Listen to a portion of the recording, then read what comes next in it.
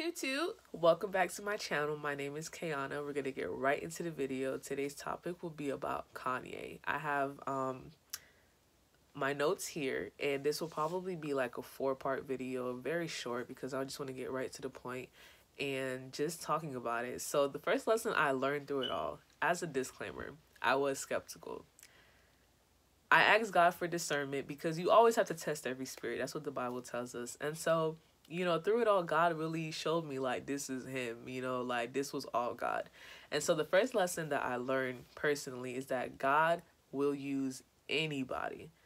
Anybody. It could be a donkey, it could be a child, you know, it could be a, a an elderly person, whatever. It could be a person who has a mental issue, whatever it is, God will use anybody. So I'm like, in my head, I'm like, God, you know how to pick them we all know Kanye. Kanye is so bold. He doesn't care about people's opinions and he always makes an impact. It never fails.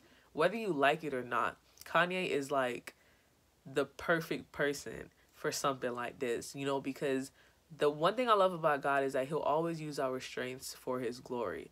You know, because Kanye had that not caring attitude, because he was so bold, seeing him putting all that energy into Christ it's so amazing to me and I like give him so much props because it's not easy, especially when when you know what you used to do and now you're like you did like a whole 360. It's amazing to see how God will literally like use the most unlikely people.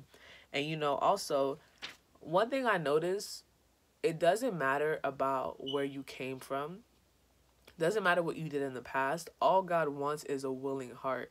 So don't you ever let these church people, don't you ever let these so-called Christians who are low-key religious leaders and modern day modern day Pharisees, you know, on the low, don't ever let them tell you that you cannot be used by God or you need to get it together before ever pursuing ministry. I understand like there are certain steps that needs to be taken. Don't get me wrong, but still don't ever tell yourself that you cannot be used by God. Because look at Kanye. God can use anybody, you know? Don't let them tell you that. My thing is, if you have a willing heart, if you have that desire to want to be used by God, you need to allow God to do that change within your heart. That's all that it takes because He doesn't care about the outside. People care about the outside appearance, they care about the sins that they see on you. God knows our heart because no matter what, we're all sinners. I don't care how amazing a Christian influencer is, they still sin. We all sin. But God still knows our heart. He knows that even though we sin, you know, we don't mean to hurt him. It's just that's just how our flesh is. You know what I'm saying? So we live in a very fallen world. Sin is inevitable. But if God sees our heart, that should be like that extra push that you needed to pursue whatever it is that God wants you to pursue. So don't ever let people tell you you're not good enough, you're not spiritual enough, you don't go to church enough, or look at what you used to do. Don't let them tell you that. That's not how it works. Just know that if you're willing, you have the heart to do it, God can do a whole 360.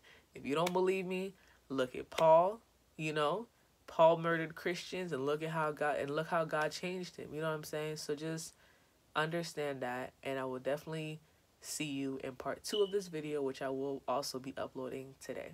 Toot toot!